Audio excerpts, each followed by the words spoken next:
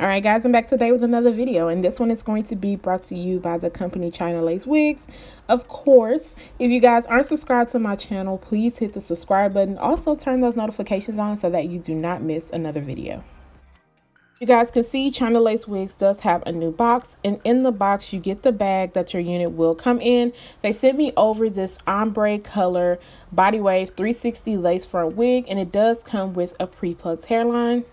It is 22 inches in length and it's also 180% in density and I do have a medium cap size.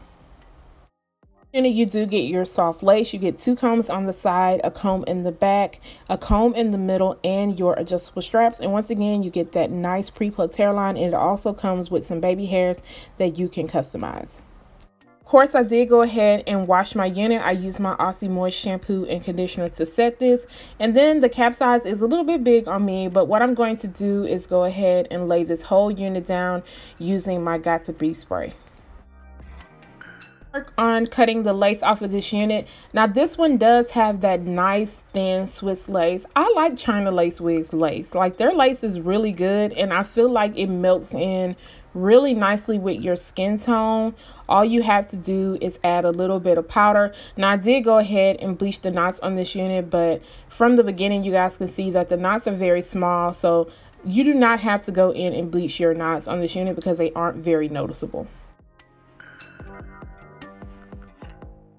Adjusting everything. I did notice that i will just have to cut off a very tiny piece by the ears because a little bit of the lace is coming over. And as you guys can see it's going to be so small. That's why i'm having to keep readjusting. Usually i have to cut off a good amount but this time it was fitting good by my ear, but not good enough to where I wasn't going to have to go in. So I'm just going to go ahead and go on both sides. And I want to make sure I cut enough off to where that lace is going to come by the top of my ear because I do want to kind of swoop some hairs over on the side going to pin the hair back on the sides and then I will also kind of adjust the wig to where I want it to be. You don't want your wig to be too far back on your forehead so I wanted to pull it up just a little bit so that it could sit right and then I'm going to use the pink bottle of the Got To Be Freeze Spray line which is the Glam Force edition. I do get a lot of questions on where I picked this up at. I found mine at my local um, Family Dollar. Now I used to be in like CVS, Walgreens, the local drugstores but I don't see it there anymore. I'm going to spray this on top of the lace at the very front of the hairline. And then on the sides, I'm going to spray a very good amount. And then I'm going to place the lace on top of it and then just kind of melt it in using the end of the rat tail comb. Now my main focus was focusing on the sides and making sure that they stick really good.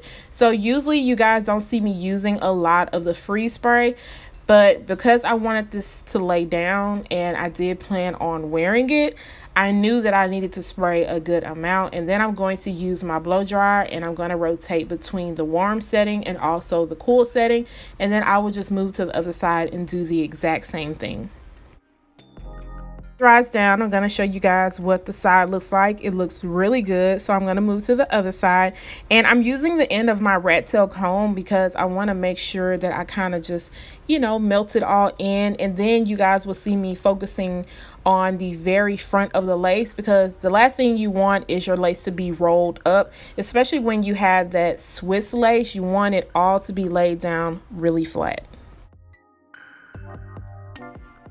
Side it took me about seven to ten minutes just to make sure that it was fully dry and then like i said i'm going to go back over with the rat tail comb just make sure everything is pressed in. I'm also going to comb out that hair while i'm holding the hair down because of course i don't want it to pop off if i'm combing too hard. But i just want to make sure everything looks really natural and just start combing out where i sprayed the hair at in case any spray got on it because you don't want it to look really dry or flaky up in the front ahead and spray my heat protecting spray on the hair to get ready to flat iron it. Now, I wasn't sure what I wanted to do, if I wanted to add curls, but I really wanted to see what this unit looked like straight. I did get a little bit too close with the heat protecting spray. It will come off looking a little bit oily, but once I flat iron everything out, you won't be able to tell at all. This is why I say be careful with this heat protecting spray. You do not want to spray too much of it on just because you don't want your hair to look super oily. So I'm going to go in using my KIPOZI flat iron. You guys know this is my fave at the moment until I decide to purchase something else. But you can find this on Amazon. It is very affordable. And of course, any products that I am using will be listed down below for you guys if in case you want to purchase definitely see a big difference when I flat iron this unit out because when it is air dried it does come off very dry looking. But as you guys can see when the heat is added to it it is coming off really beautiful and nice and sleek. Um, I did have to go through it a couple of times. I went through it about two to three passes and I focused more towards the ends of the hair just because it did have that lighter color. So I wanted to make sure that it got really straightened is what it looks like after I'm done flat ironing the one side. I will go off of camera and do the other side. And now that I'm back, I'm going to go ahead and add my Care Care wax stick at the very top.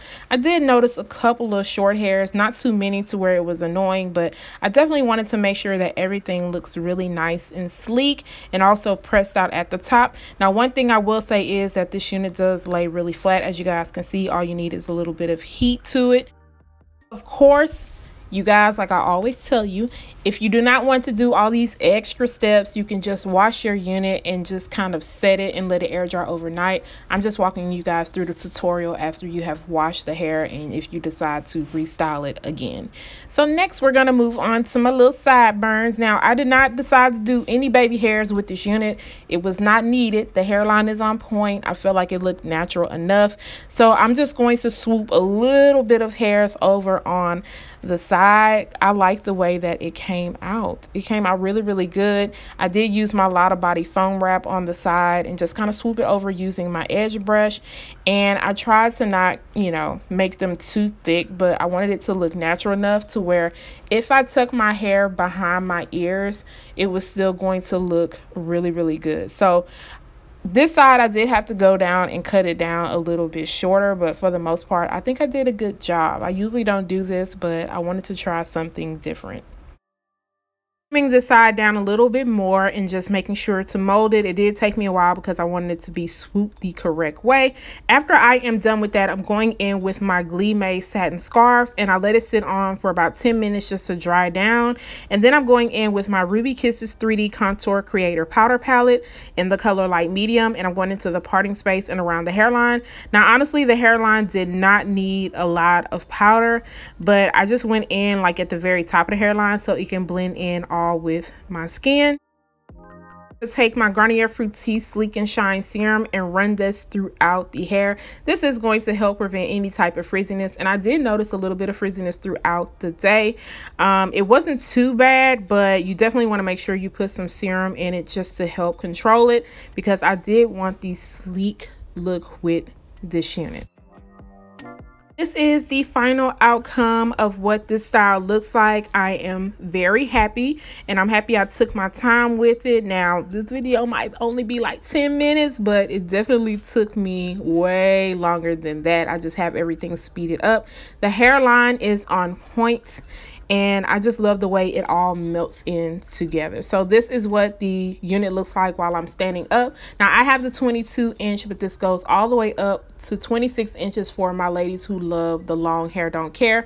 And I feel like with this density, it's definitely not to me on the 180% side, but I feel like it's good enough for the heat that is coming up. As this is a 360 style, I did want to go ahead and show you guys some different looks. Now, I did not pull off these styles on camera because this video was truly long, y'all. And I had to make sure that it just wasn't too long. So this is what a half up, half down style looks like. And of course, the hairline still on fleek is melting in hair was easy to style. All I did was kind of comb it up and just add a little bit of heat to the front with the hot comb.